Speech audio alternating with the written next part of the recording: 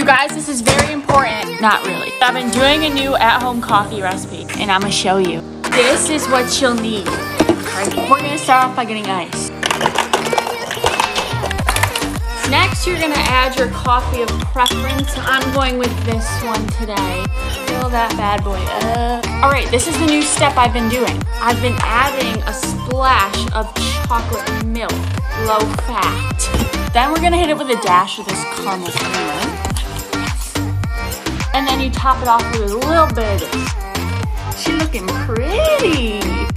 I'm gonna hit it with a little stir action. Put a lid on her. All right, taste test. Cheers. Oh, there's a perfect balance of all three flavors. I really want to get that thing to make cold foam. Is it worth the $7 from Target? Most definitely. Am I lazy and haven't gotten it? Yes. Hey everyone, so today I decided to do a vanilla hazelnut cold brew with coffee from Coffee Over Cardio. So I pulled out their cold brew maker, and if you don't have one of these, you can use a French press. My friend Espresso Bard did a video on this, and I'll tag her in the comments. So I filled up the middle part with coffee grounds, and then I filled the base with water. Not too much so it doesn't overflow, but just enough so I have a lot. And then I put that in the fridge for about 36 hours, and that is my cold brew.